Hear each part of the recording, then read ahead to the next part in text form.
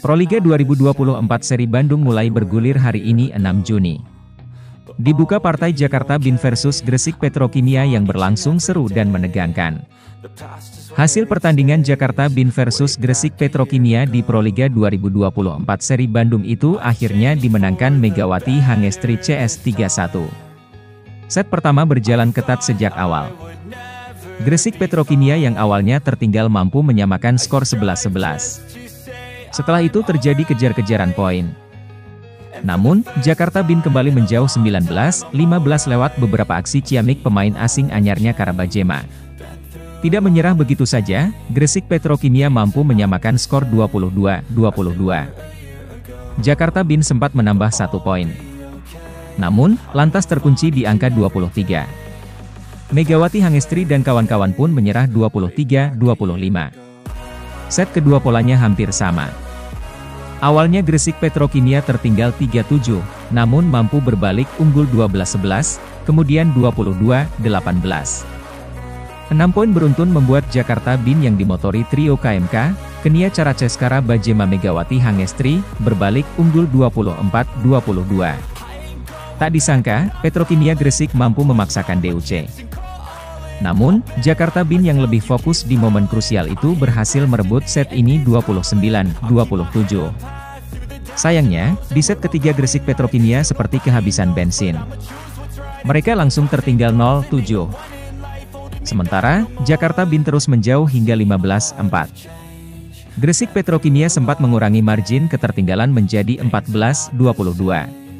Spike keras Karabajema membuat Jakarta Bin memimpin 23-14 sebelum akhirnya memenangi set ini 25-16. Gresik Petrokimia mencoba bangkit di set keempat. Namun, Jakarta Bin tak membiarkan mereka memimpin skor. Anak asuh Rizko Herlambang sempat menyamakan 12-12. Namun, Jakarta Bin kembali menjauh 20-16 sebelum akhirnya menang 25-19. Kemenangan atas Gresik Petrokimia membuat Jakarta Bin naik ke peringkat 2 klasemen dengan PON 16 menggusur Jakarta Pertamina Enduro.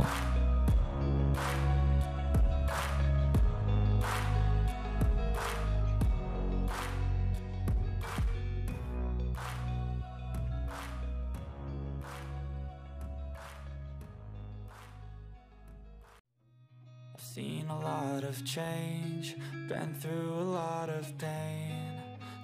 Kabar tak menyenangkan datang dari pevoli Megawati Hangestri. Megawati marah sebab privasinya diusik oleh orang tak dikenal. Pevoli yang berkarir di Korea Selatan bersama Red Sparks itu mengungkapkan bagaimana seseorang tak dikenal datang ke rumahnya. Ia meluapkan amarahnya di akun Instagram pribadinya, Megawati Hangestrip, Sabtu, 2 Mei 2024. Dalam unggahan Instagram story-nya, Megawati dibuat emosi lantaran privasinya diusik oleh orang tak dikenal. Bahkan, Megawati mengaku bahwa orang yang tak dikenalnya tersebut sampai datang ke rumahnya. Tak berniat sombong, namun atlet kelahiran Jombang itu ingin menjaga keluarganya. Merasa terganggu, membuat Megawati melayangkan amarah di akun Instagramnya yang kini memiliki satu juta pengikut. Adapun saat ini, unggahan Megawati tersebut telah hilang lantaran sudah lebih dari 24 jam. Namun, Tribun News sempat mengabadikannya melalui tangkapan layar. Sudah mulai enggak respek sama orang-orang yang enggak aku kenal yang tiba-tiba datang ke rumahku. Itu sudah benar-benar enggak bisa menghargai privasi aku dan keluarga aku. Bukannya sombong, tapi aku menjaga keluargaku saja. Mohon dimengerti, tulis Megawati. Reaksi yang ditunjukkan Megawati tersebut tentu sangat wajar, mengingat ia mendapat perlakuan dari orang tak dikenal yang mengganggunya. Sebagai penggemar, diharapkan bisa lebih bersikap bijak dan tak mengganggu privasi Megawati. Terlepas dari hal itu, saat ini Megawati masih disibukkan dengan kompetisi Proliga 2024 bersama Jakarta Bin. Terdekat, Megawati bersama Jakarta Bin bakal melakoni Proliga 2024 pekan kelima yang berlangsung pada 6 hingga 9 Juni di Gor Jalak Harupat, Bandung. Pekan kelima pastinya akan sangat dimanfaatkan Megawati CS, mengingat saat ini Jakarta Bin masih berada di peringkat 3 klasemen sementara dengan 13 poin. Peringkat yang masih riskan kena tikung lawan demi memperebutkan tiket Final Four.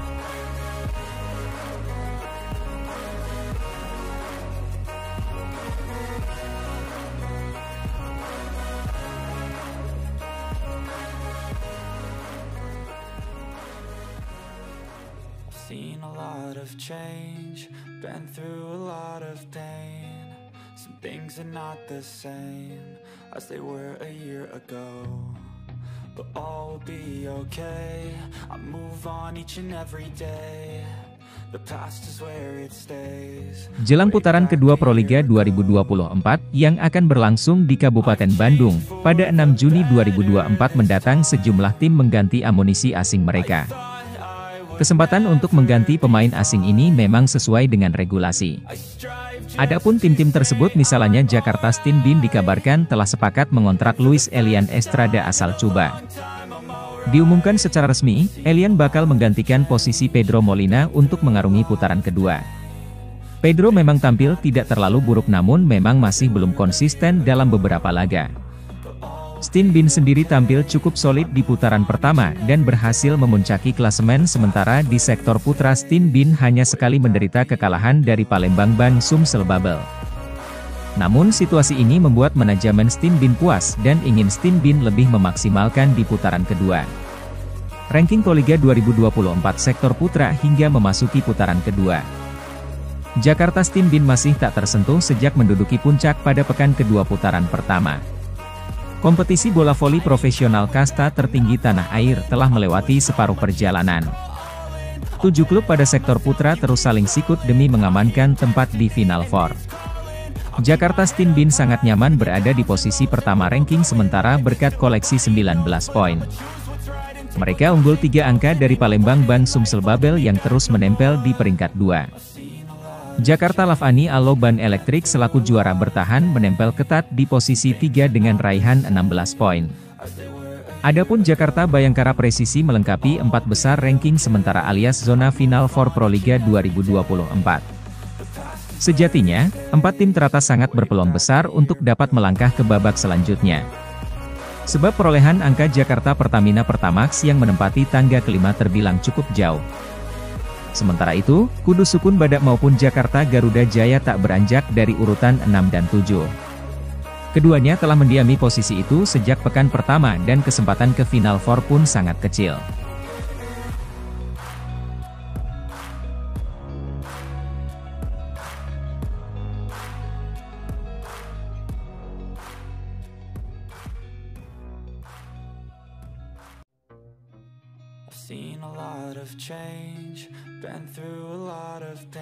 Jakarta Bin baru mendatangkan pemain asing berkebangsaan Amerika Serikat, Kara Bajema. Kara Bajema akan menjadi tandem Megawati Hangestri di Proliga 2024. Kara Bajema lahir pada 24 Maret 1998 di Bellingham, Washington, Amerika Serikat. Sejak kecil, ia aktif dalam berbagai cabang olahraga, termasuk sepak bola, basket, dan voli. Perjalanan atletiknya dimulai dengan berbagai pilihan olahraga. Dikutip dari situs web Gohuskias.com, Karabajema memulai karir kuliahnya di University of Washington, W. Ia bermain sejak 2016 hingga 2020. Selama di W, Kara mendapat beberapa penghargaan, termasuk menjadi anggota All-American First Team pada 2019, serta menerima Tom Hansen Medal. Sebagai senior, ia memecahkan rekor W untuk jumlah kill dalam satu musim dengan 597 kill dan menjadi Pacific North Region Player of the Year.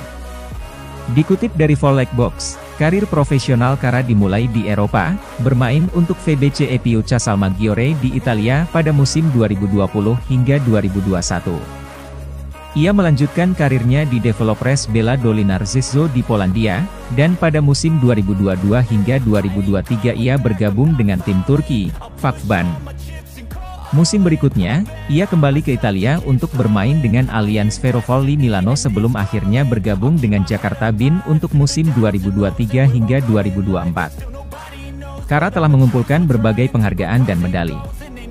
Ia menjadi MVP di Police Cup musim 2021 hingga 2022 dan meraih banyak medali dalam berbagai turnamen klub seperti Liga Champions Wanita, Kejuaraan Klub Dunia Wanita, dan Liga Domestik di Italia, Turki, dan Polandia.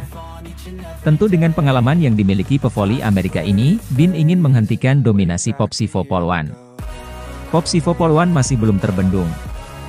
Dari tujuh laga yang dimainkan, mereka selalu menang.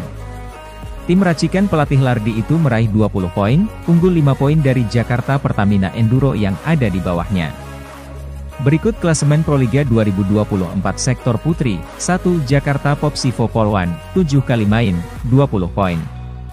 2 Jakarta Pertamina Enduro, 7 kali main, 15 poin. 3 Jakarta Bin, 6 kali main, 13 poin. 4. Bandung BJB Tanda Mata, 7 kali main, 10 poin. 5. Jakarta Electric PLN, 7 kali main, 7 poin.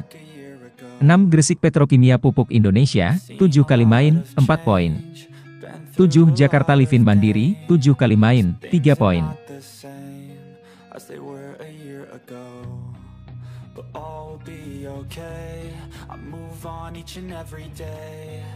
The past is where it stays, way back a year ago.